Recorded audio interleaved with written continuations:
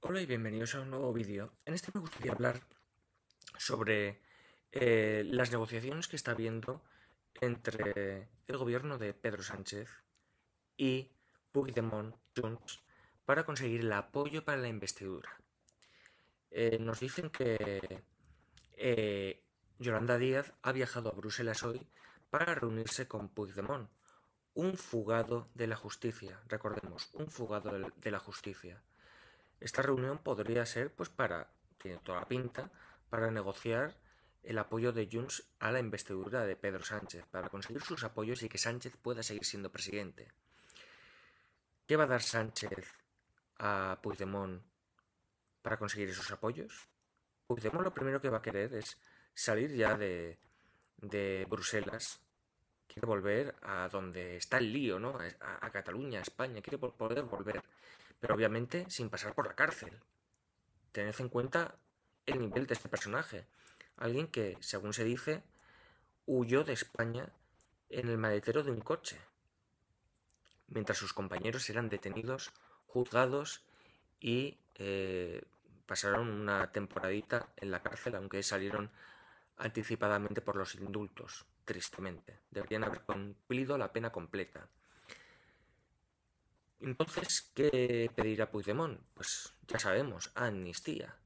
Que todos los delitos cometidos por los golpistas catalanes en el proceso eh, queden sin castigo.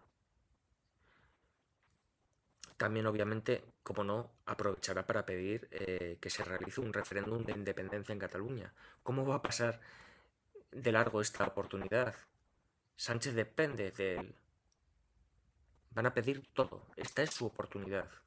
Amnistía y referéndum. Su oportunidad para eh, romper la unidad nacional. Y la pregunta es, ahora mismo esto se supone que es, va contra la Constitución. ¿Será capaz Sánchez de aceptar estas condiciones?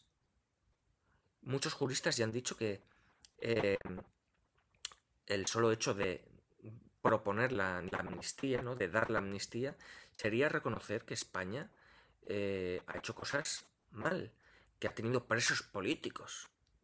Sería eh, ensuciar la imagen de España de una forma tremenda. Porque es que además no son presos políticos, son políticos que han cometido delitos y por eso han ido a la cárcel. Es que nos dicen, no, no, son presos políticos, no, son políticos presos. Es que es como si Em, solo por ser político ya no pudieras ir a la cárcel. No, no, no, no, no. Un preso, un político cuando comete un delito va a la cárcel. No es un preso político. Cuidado. Juegan con el lenguaje eh, para manipularnos. Bueno, Yolanda ha ido a Bruselas para negociar con Puigdemont, con un fugado de la justicia, repito, el PSOE se desmarca ¿no? de estas negociaciones. ¿Por qué? Por eso han mandado a Yolanda Díaz en vez de alguien del Partido Socialista. Han mandado a alguien de Sumar, pero no olvidemos, Sumar está en el gobierno de Sánchez.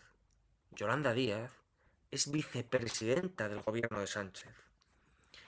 Y lo último que me gustaría destacar es eh, que yo creo que un cargo público no debería eh, relacionarse con eh, delincuentes o con personas que, que vayan a ser investigadas, que estén imputadas por algún delito. Puigdemont es un huido de la justicia. Yo creo que ningún político en activo, ningún funcionario debería eh, poder relacionarse con presuntos delincuentes. Pero, ya veis, eh, amnistía e independencia. ¿Creéis que Sánchez eh, va a ceder para seguir siendo presidente? ¿Creéis que es capaz?